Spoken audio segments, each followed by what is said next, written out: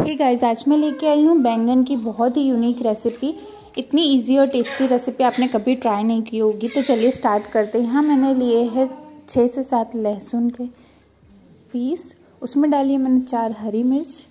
अच्छे से इनको क्रश कर लिया। फिर ट्रांसफ़र करूँगी मैं इन्हें कटोरी में। अब इस कटोरी में डालेंगे आधी चम्मच लाल मिर्च, एक चौथाई चम्मच हल्दी, धनिया पाउडर, आधी चम्मच आधी चम्मच जीरा पाउडर। आप चाहे तो इसमें काली मिर्च का पाउडर भी डाल सकते हैं और स्वाद अनुसार नमक डालेंगे। थोड़ा सा पानी डाल के मिक्स कर लेंगे अच्छे से। यहाँ मैंने दो से तीन टेबलस्पून पानी ऐड किया है। पेस्ट बन के रेडी है, अब चलते तड़के की और यहाँ मैंने डाला है दो टेबलस्पून वेजिटेबल ऑयल और दो टेबलस्पून मैं डाल रही हूँ इसमें सरसों का तेल। ऐसा करने से बहुत ही अच्छा टेस्ट आता है। इसमें डालेंगे राय और थोड़ा सा जीरा। यानी कि राय और जीरे का तड़का लगने के बाद इसमें डायरेक्टली डाल देना है पेस्ट जो हमने रेडी करके रखा था। फ्लेम को रखेंगे मीडियम इस मसाले को तब तक पकाना है जब तक तेल अलग नहीं हो जाता, यानी कि तेल ऊपर आ जाएगा और मसाला नीचे बैठ जाएगा। तो बस ये मसाला रेडी है।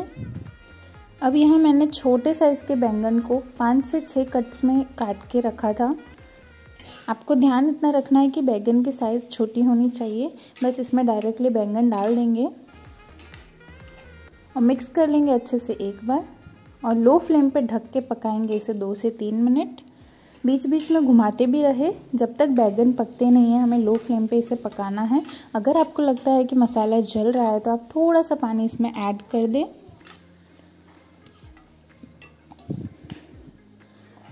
तो देखिए, थोड़ी देर बाद बैगन काफ़ी अच्छे से पक चुके हैं।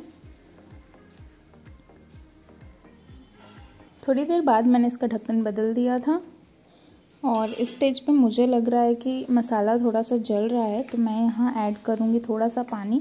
थोड़ा सा पानी यानी कि दो से तीन टेबलस्पून ही पानी ऐड करना है और वही लो फ्लेम पे फिर से ढक के आप इसे पकाएँ जब तक पकता नहीं है। तो मैंने यहाँ डाला एक से दो टेबलस्पून पानी। मिक्स कर लिया अच्छे से। और फिर से इसे ढक के पकने दिया है। एंड में एक से दो मिनट बैंगन को अच्छे से मीडियम फ्लेम पे ओपनली ही पकाना है। उससे क्या होगा, काफ़ी अच्छा टेस्ट आ जाएगा। बैंगन फ्राई बन के रेडी है। ज़रूर इस रेसिपी को घर पे ट्राई करें। मेरा वीडियो पसंद आया तो चैनल को ज़रूर सब्सक्राइब करें।